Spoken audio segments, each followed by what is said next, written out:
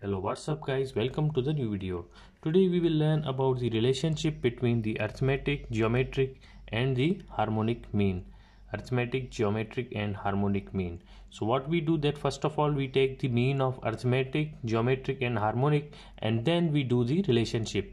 So for, for example we have the two numbers 4 and 16 we will take its arithmetic mean what we do that we simply take the mean that is 4 plus 16 divided by 2 so 20 divided by 2 arithmetic mean will be 10 and then we will take the harmonic mean. We know that harmonic mean is equal to the total number of values. How many total number of values are there? We have 2 that is 4 and 16 so 2 divided by the addition of the reciprocal of the numbers.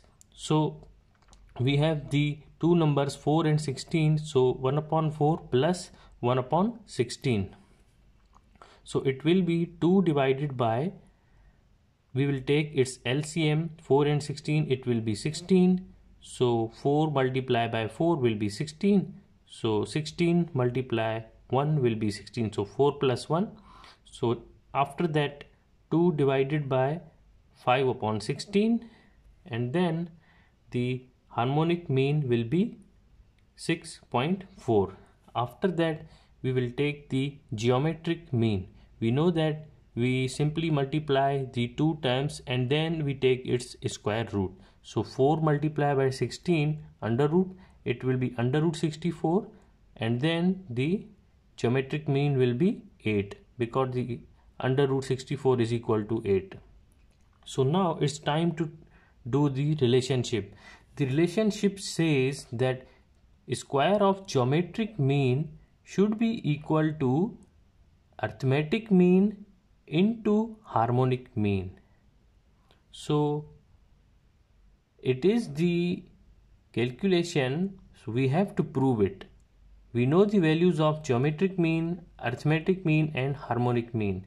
We will put down these value and we know that whether it is correct or not geometric mean we know that we have taken the geometric mean is equal to 8 so square of geometric mean it means the square of 8 arithmetic mean we have already found over here. Arithmetic mean is equal to 10 and the harmonic mean harmonic mean we have found over here that harmonic mean is equal to 6.4 so 10 into 6.4 is equal to 64 and square of 8 is equal to 64 so 64 is equal to 64 so we have proved it. Thank you for watching this video